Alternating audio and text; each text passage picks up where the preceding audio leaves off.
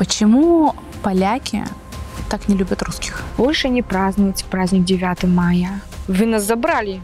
Какая вы меня тут освободили? Мужчины в Польше дарят цветы? В России все-таки, мне кажется, больше таких мужчин. Насколько хорошо ты знаешь русских? Почему я должна мыть э, кастрюли и сковородки? Это важно.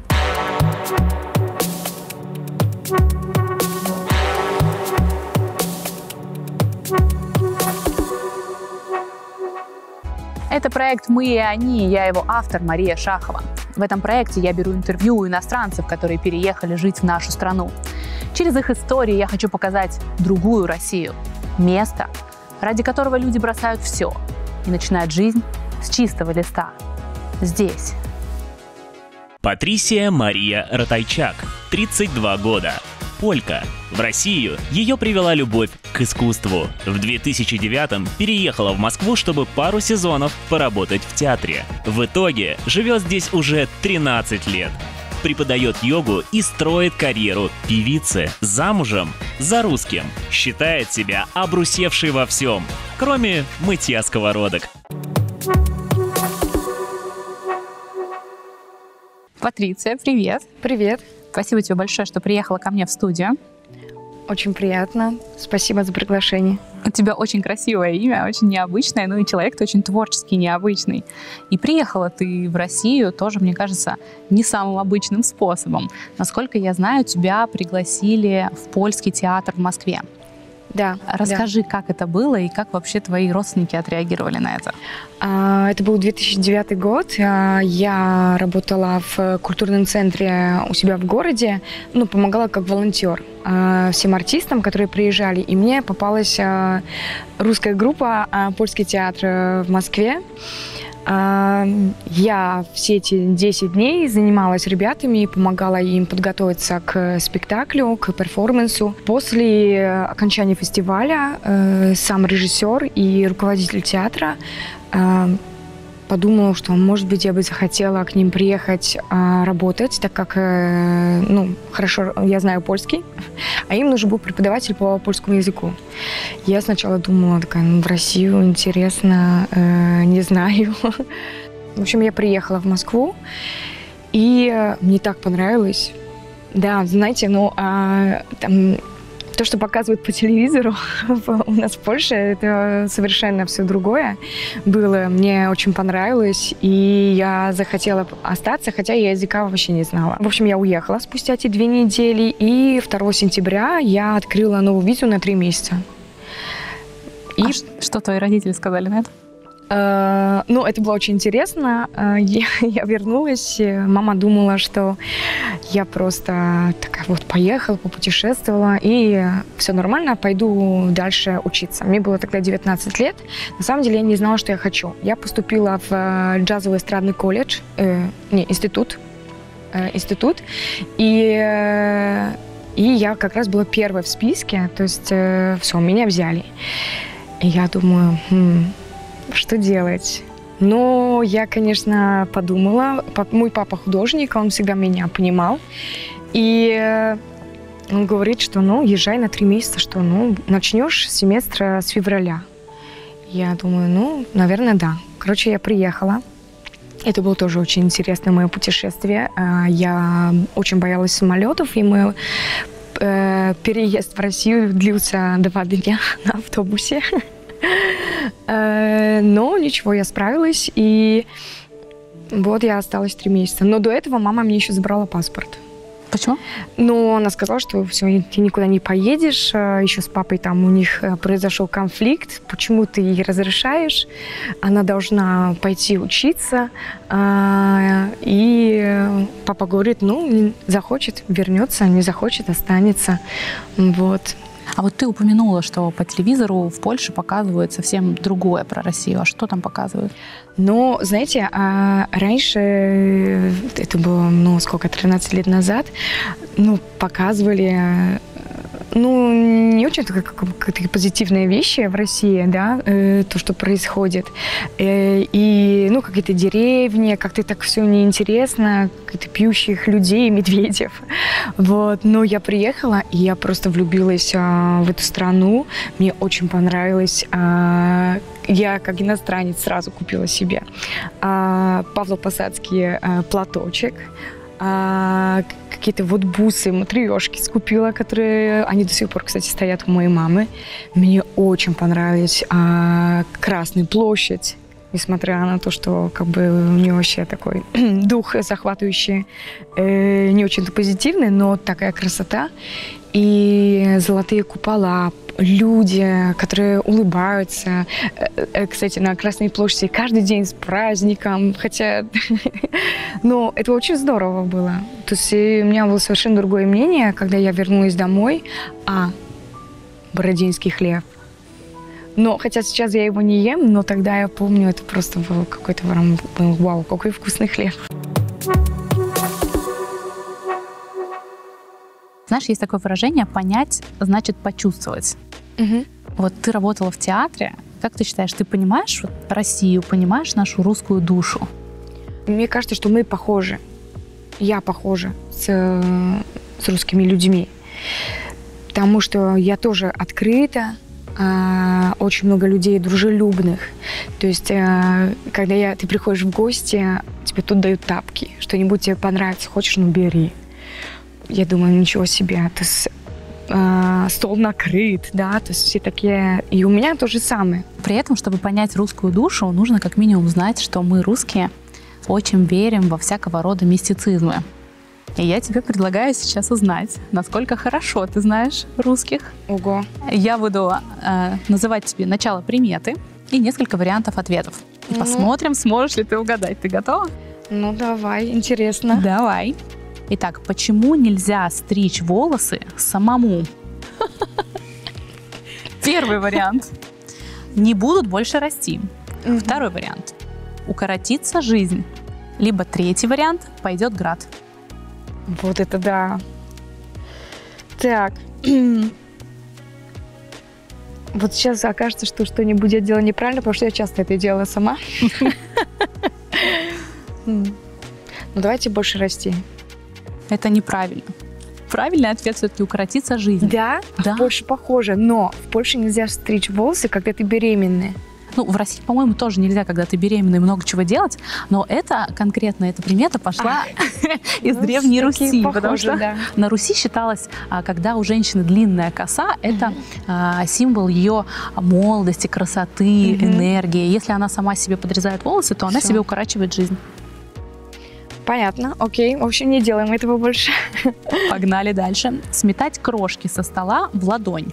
Ну, вот так, знаешь? Угу. Это к чему? К нищете, к деньгам или к свадьбе? Ну, наверное, первое.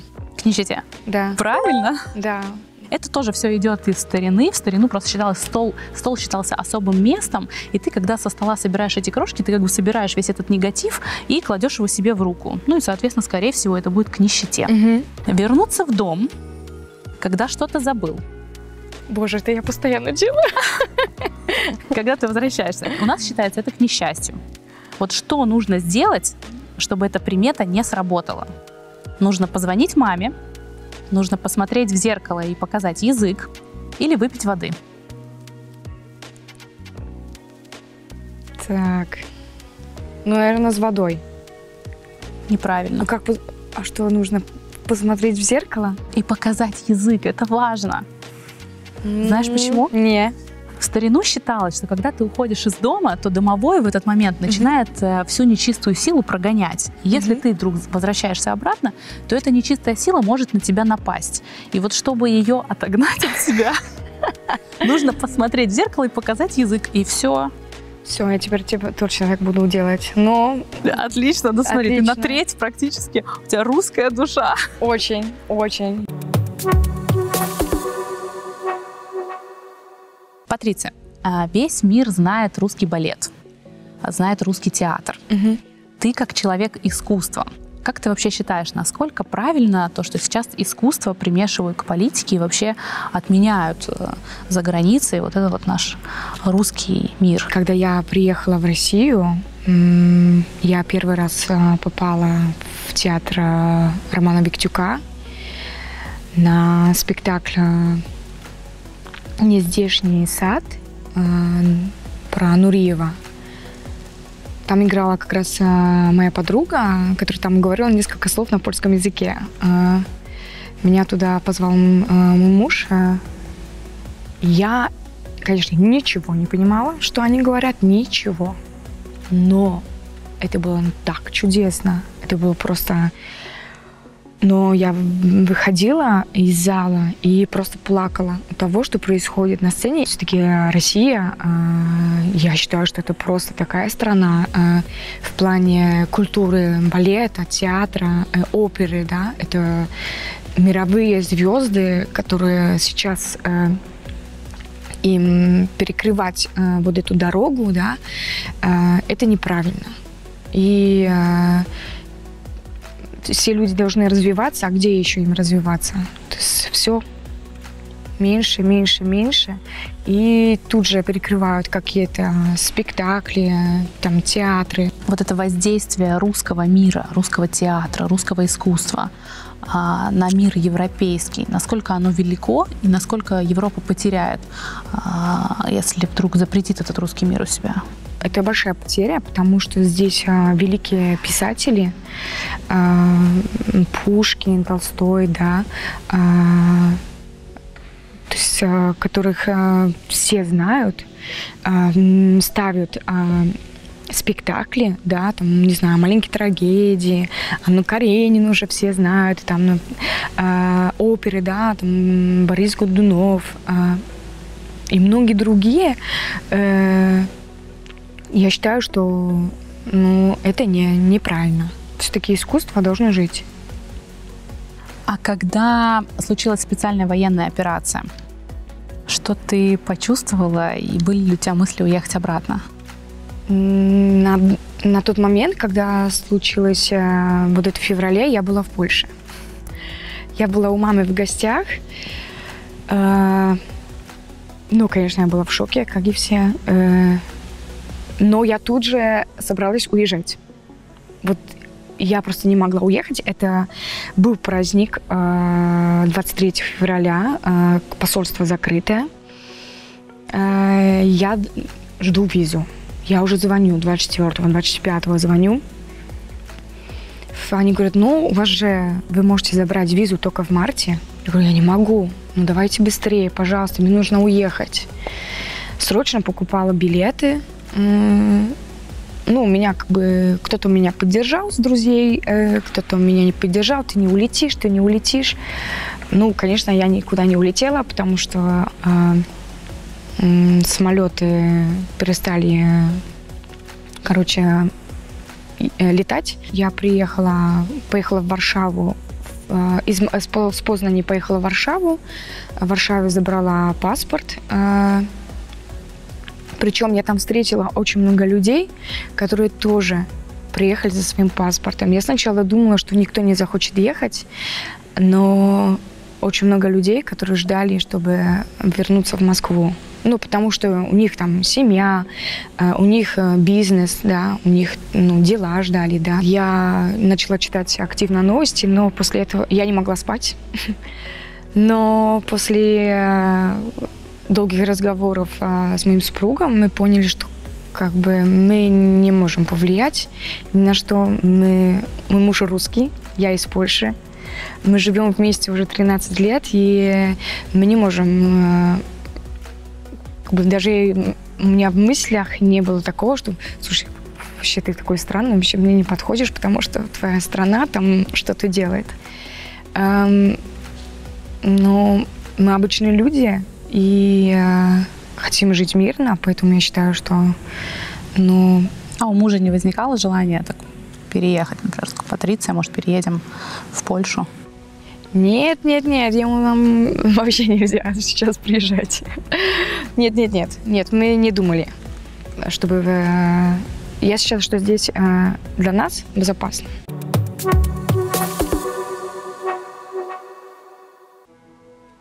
Давай вернемся а, к твоей жизни. Да. Я знаю, что с 2015 года ты начала преподавать йогу, перешла полностью на здоровый образ жизни – Могу сказать, а, как это повлияло, в общем, на мою жизнь. То есть я, а, когда приехала в Россию, занималась много чем. Работала в театре, А, потом я была помощником дизайнера и очень много работала, очень много работала. В Польше у меня до этого был показ мод. Я, я на нашем, у нас в городе был в сентябре осенние показы моды, и я свою коллекцию туда показала. Вот. А, У меня было очень большое портфолио, и я подумала, когда начала ну, жить в России, что было бы интересно чем-то еще заниматься. А, Вот у меня подруга, уже здесь появилось несколько подруг, а, она говорит, слушай, есть такой дизайнер, вот, и, может быть, ты к ней пошла она бы тебя там, ну, может быть, у тебя получится. Я сначала пришла, конечно, как покупатель, все посмотрела а, в этом шоуруме и такая думаю, ну, как-то так, как-то неинтересно все это. Я начала общаться с э, девушкой, которая там работала, и говорю, знаете, а вот интересно было бы как-то соединить вот это с этим, а вот еще сюда там надо добавить еще топик, еще, ну, потому что сразу люди Ну, в общем, раз тебя выбрали. забирают. Она говорит, знаете, подождите, сейчас она придет, вот. а, И, в общем, меня взяли. Я там проработала пять лет, но для меня это был, кстати, самый большой опыт, который мне помог вообще жить здесь. Я просто, если я бы жила в Польше, то я бы в жизни такому не научилась. Как Почему? Ну, звонки в 5 утра. И Я, в общем-то, как говорю, все, ребята, я у вас не буду работать больше. Ну, у меня случился, конечно, это такой прям... а, Срыв. срыв, а, потому что у меня не стало папы, и а, я не успела с ним попрощаться. И я поняла, что мы живем здесь и сейчас, и я не могу больше там работать. Ну, сейчас как бы, потому что не то, что я как бы не мог там работать, просто а, мой папа хотел много папы, что да. э, успеть, но не получилось. А, и я такая, все, ребята, все, пока, нет.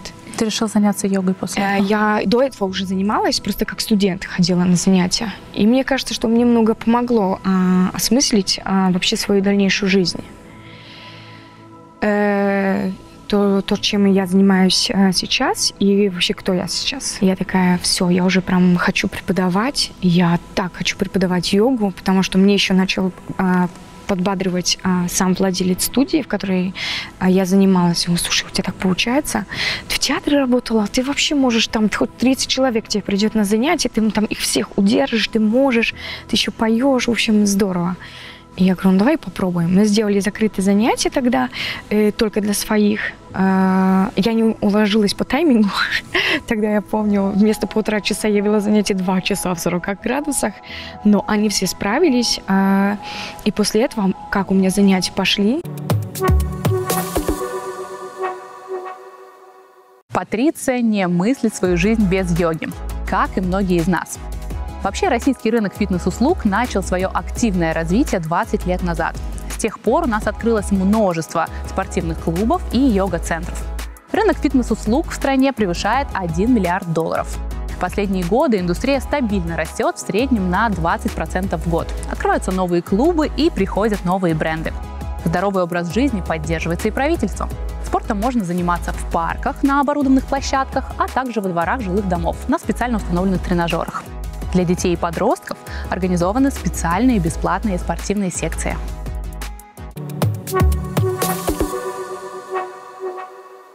С 2015 по сегодняшний день смотреть, вот по твоему опыту, Да.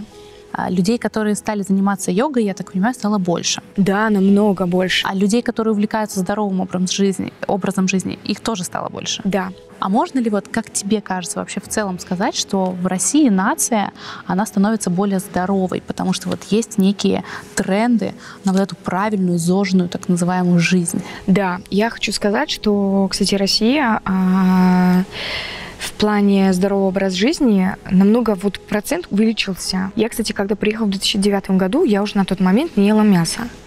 И мне было на самом деле очень сложно находить а, продукты, которые его заменяют. Но сейчас столько классных магазинов появляется, и столько людей а, стало понимать, что что классно отказаться от э, тот же, там, не знаю, мяса, сахара, глютена, который вообще портит жизнь всем людям, и что нужно заниматься спортом. Я знаю, что ты сейчас еще развиваешься как певица.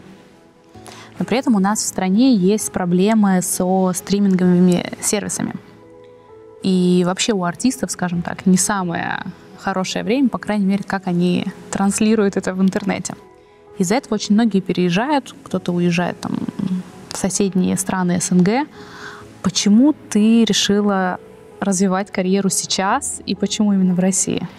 Что могу сказать а, по поводу кто-то уезжает, кто-то не уезжает. Всю жизнь все кто-то уезжал, кто-то приезжал. А, но здесь, в Москве, очень, в Москве очень много классных а, вообще певцов, музыкантов. А, я их встречаю каждый день. А, пишут свои песни или поют ковера, да, кавера поют. Поэтому я думаю, что здесь э, всегда будут классные музыканты. Мне не будет такого, что все крутые уедут. Такого не может быть. Потому что я считаю, что если тебе нравится какое-то место, а, и ты классный э, в своей профессии, это независимо от того, кто ты по профессии, все равно ты э, будешь нужен. А работа для них найдется? Я считаю, что да. У меня есть работа, я не считаю, что мне надо уезжать. Мне, во-первых, здесь очень дико нравится. Э, я очень люблю э, людей, с которыми я вообще общаюсь, с которыми я э, работаю, с которыми я живу.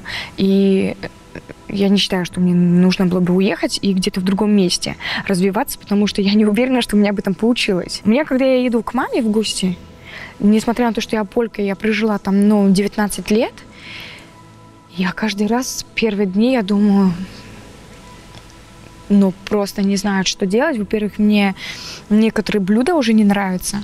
Э, мне непривычно э, по поводу транспорта там, то есть здесь метро, знаете, каждые полтора минуты, каждые две минуты, да, каждые там три минуты приезжает.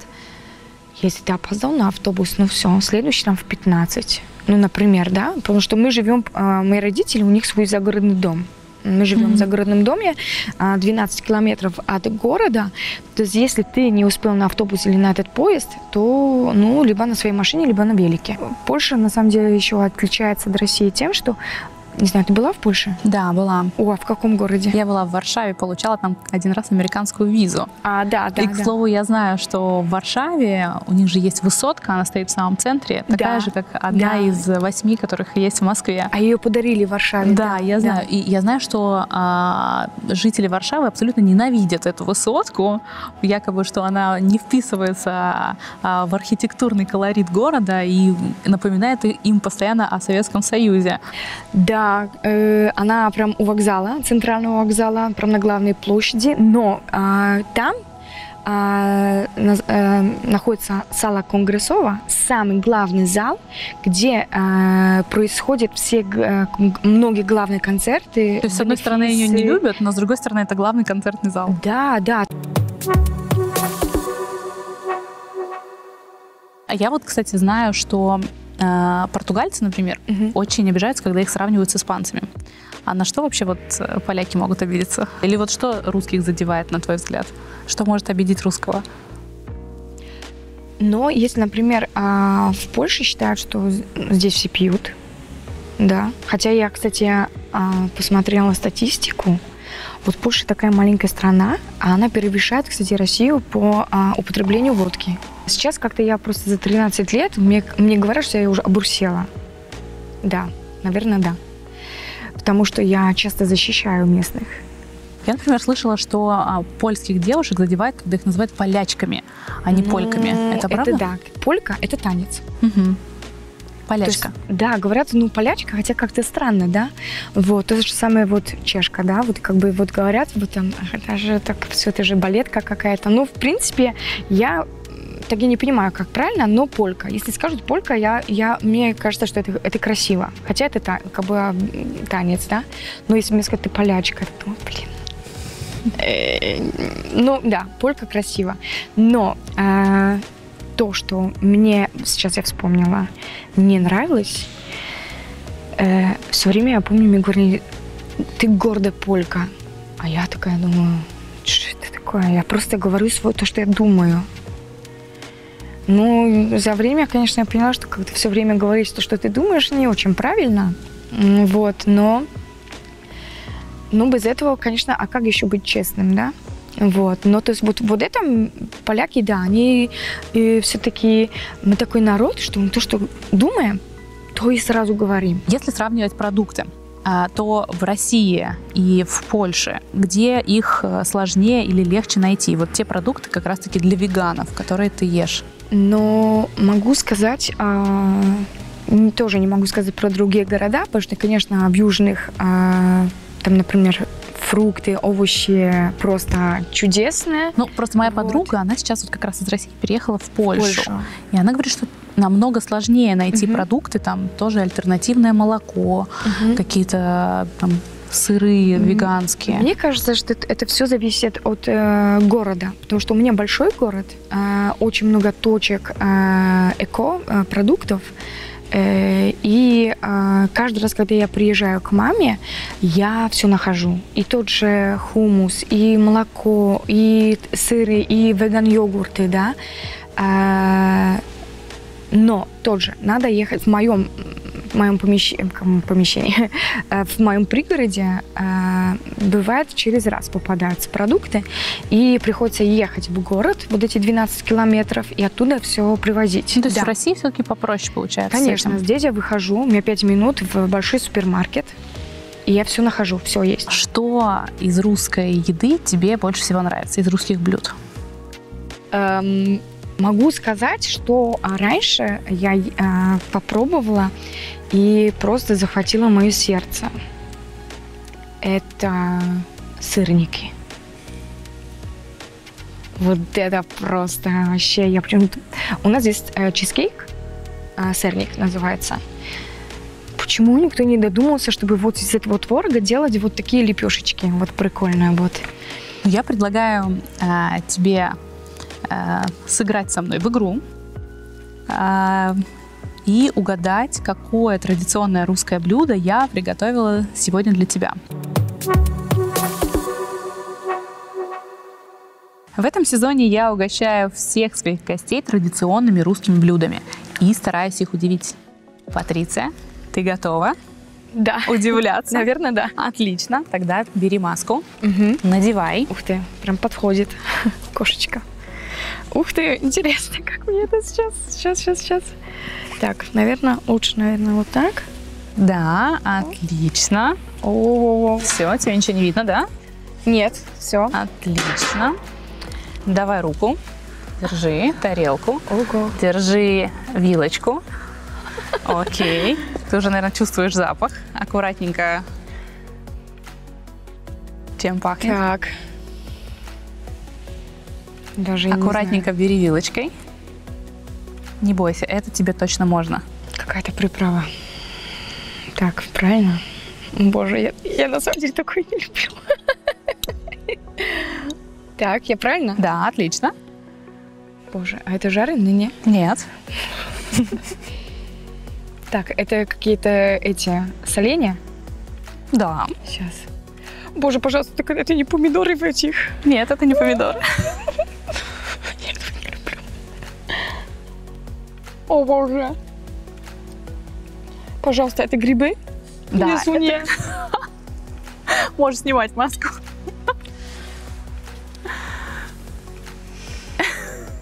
Ты знаешь, что это за грибы? Так, надо посмотреть. А, опята? Нет. Опята маленькие. А, так. Ну, так, это не шампиньоны, это... Сейчас, я забыла, как они называются. М, Это грузди. Вот, они по-польски рыцы называются. В Польше тоже Да, такие есть. Есть. Ты знаешь, да, что а, в какой-то момент Но эти грибы стали... ела. Эти грибы в России стали в какой-то момент настолько популярны, что иногда в год до 70 килограмм на человека доходило. Да? Да. То есть в России очень любят грузди, особенно вот такие соленые грузди со сметаной, с лучком. У нас делают маленькие шампиньончики, а, типа как закуска к э, выпивке, наверное.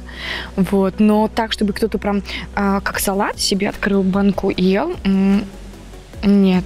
Зато Нет. теперь ты наконец попробовала грузди, ты знаешь их на вкус. Да. Даже я тобой горжусь. Я сама в шоке, честно.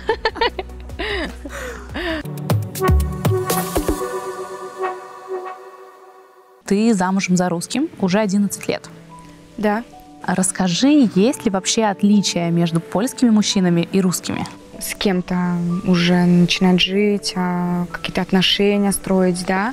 Это очень большая работа, а еще, большой, еще больше труд, когда человек э, не родился как-то в твоей среде, да, то есть у него другие привычки.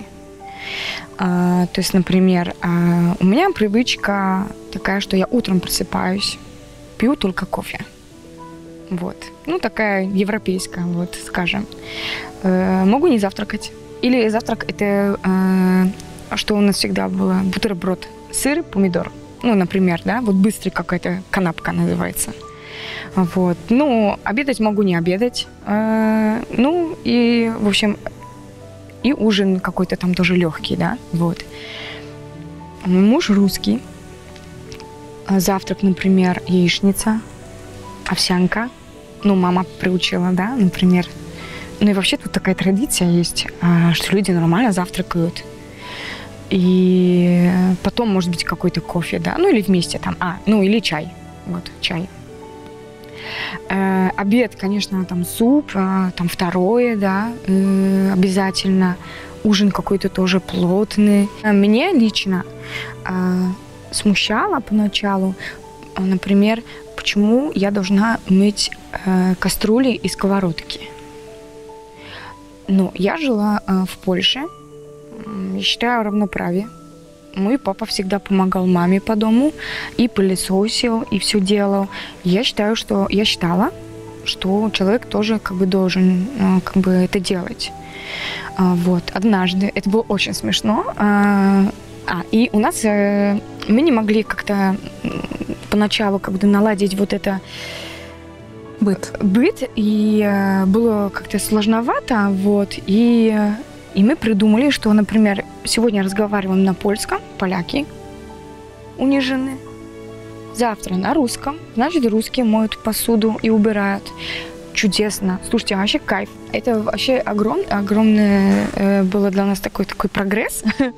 вот. Но Игорь только спустя какое-то время понял, э, до него дошло, что я, э, ну, я готовила, например, ну, иногда бывает суп на, на два дня, да, это же нормально, что я готовлю в русский день. Сковородка в русский день.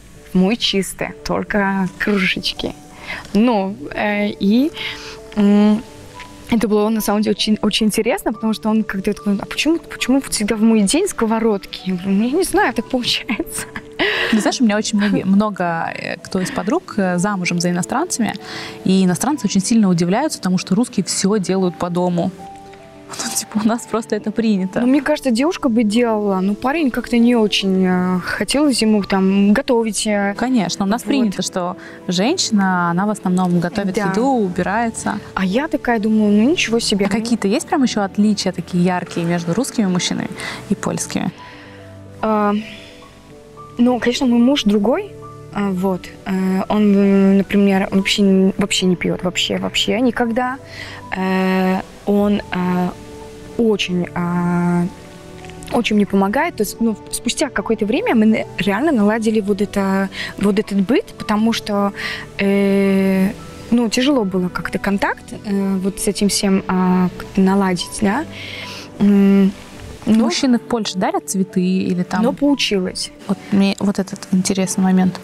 Э, Да, есть такое, но мне кажется, больше, конечно, дарит цветы, э, типа бе- без случая, просто Да, просто так. Вот как в России, когда мужчина тебе просто может подарить цветы. В Польше есть такое? Мне кажется, есть, но просто мне, э, мне кажется, что это зависит от лично от мужчины. Но, конечно, какой-то процент э, э, такие, что, ну, типа, мы, ты уже моя жена, значит, как бы окей, да. В России все-таки, мне кажется, больше таких мужчин, которые просто без причины дарят э, цветы э, или вообще подарки, или там, ой, давай туда там сходим в кафе. Э, в Польше нет такого, чтобы так вот как-то, ну, такого прям большого процента. Считается, что в России женщины очень сильные, ну, не в физическом плане, а в таком ментальном. А, вот как ты считаешь, русские сильнее, чем польки, или наоборот? Что я могу сказать, что на самом деле вообще женщины, а, ну, не могу сказать последнее время, но, наверное, да, пос, ну, вообще последнее, как это уже много лет, стали прям очень сильные. И они могут во многом а, сами за себя постоять, сами сделать. То есть, а, ну, я думаю, что это вообще за, а, за рынком а, работы тоже связано, да, и вообще жизни, что и вообще культуры, да, это все как бы влияет э, общество на нас, что многие женщины э, как бы вынуждены были в какой-то момент, ну, я, наверное, это как-то пропустила, но как-то научиться какие-то выживать. Патриция, а как ты считаешь, почему поляки так не любят русских? А я ждала. я вот думала, я на самом деле очень думала, и мне кажется, что за счет того, что мы все-таки славяне, а, у нас еще осталось непереработанные э, обиды с а, там 39 -го года, да. Хочу сказать, что во многих а, учебниках а, Польше э, не написано, что э, как бы Россия, да, ну э, освободила Польшу с там с концлагерей, да. Э, в Польше не празднуется праздник 9 мая. Хотя это огромный праздник вообще всего мира. Мне Игорь говорит, э, ну вообще там друзья, ну как ты что не знаешь, ну как бы 9 мая огромный праздник, ну давай пойдем, там парад, все такое, думаю, слушай, что ты, короче, ты мне что-то мне говоришь, как бы мы сами себя освободили, в общем. ну, например, да. Вот я, ну, как бы сейчас я не помню, что точно сказала. Ну, слушай, ну, как бы нет, нет, ну, как бы какая вообще... Вы нас забрали, какая вы мне тут освободили? Вы тут, вот тут, мы говорили по-русски, тут по, э, по-немецки. Вот, как бы, моя бабушка же помнит, а, вот, все там прятались, э, уезжали. Ну, мне бабушка там рассказывала, что происходило, как ее там э, увозили, да. Вот. А, и я говорю, так, так, так, стоп, стоп, стоп. И оказывается, что историю переписывают, ну, не рассказывают. И многих поляков, конечно же, обида. Кто э, много читает, да, кто как бы обучается, конечно, люди умные понимают все, да, но все-таки, как знаете, поляки, знаешь, поляки не любят немцев. Вот эти швабы, вот так у нас говорят а сами, например, едут к ним работать. Да, ну то есть как бы я считаю, что они у, у поляков, так как их там э, не было страны, э, они вынуждены были э, разговаривать не на своем языке, и э, в эти в эти время до сих пор у многих осталась вот эта обида что вот так э, мы же соседи, мы же славяне, мы же братья, да, а вы с нами так поступили. Вот. Это раз. Два. У русских э, вот эта русская душа есть. А, я, они вот, вот это, хей-хей, вот все, сейчас я там живу, завтра я не знаю. Вот. Ну, поляки все-таки, не-не-не, надо до, до 30 числа как-то дожить, все, как бы нет-нет-нет. И часто это бывает, что они, мне кажется, поляки а, завидуют чем-то, открытостью. Я лично, когда приехала, я думаю, вообще человек такой честный с тобой. Вот тапки тебе дал, все тебе тут угостил. А, ну, здорово же. Вот а, да, ну, бывает, конечно, попадаешься время, как бы, от времени не, не, не на хороших, да, но это как бы, тут я пропускаю. Потому что везде есть хорошие люди, везде есть плохие, и а, это как бы, это нормально. Но здесь, мне кажется, что где-то есть вот того, что поляки, ну, как бы я, я вот почему говорю поляки, потому что я уже не такая.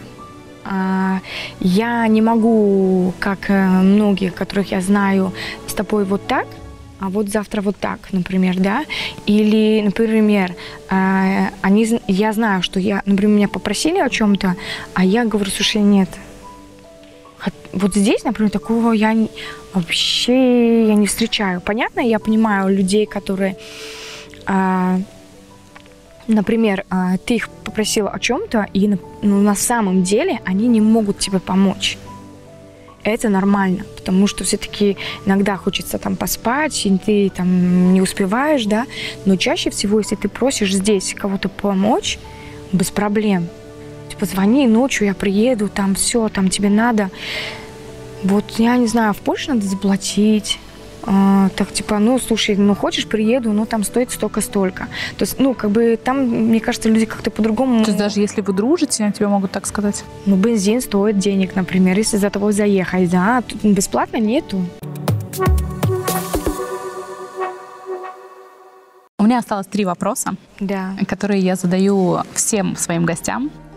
А, И попрошу тебя отвечать максимально коротко. Окей, постараюсь. Главный стереотип о России. Ну, наверное, а, то, что, например, поляки думают, да? А, Что все пьют? Что бегают а, по центру города медведи. Вот. Думаю, как-то сейчас ничего в голову особо мне не приходит больше. Ну, думаю, что этого достаточно. Что для тебя патриотизм? А, Патриотизм для меня, ну, я чувствую себя полькой, а, но это, конечно, не изменять свой народ. Я его никогда не изменила, просто э, я внутренне э, чувствую, что Польша не моя страна. Это вообще считаю, что это нормально, когда люди переезжают, и я чувствую, что я другая, но я сердцем и душой э, полька. Три главных качества русской души. Э, Как я уже говорила, э, открытость, м, дружелюбность, гостинность, гостеприимство. О, Спасибо тебе большое за сегодняшнее интервью. спасибо тебе. Мне кажется, получилось очень круто. Да, думаю, да. Посмотрим. Посмотрим. Спасибо. Спасибо.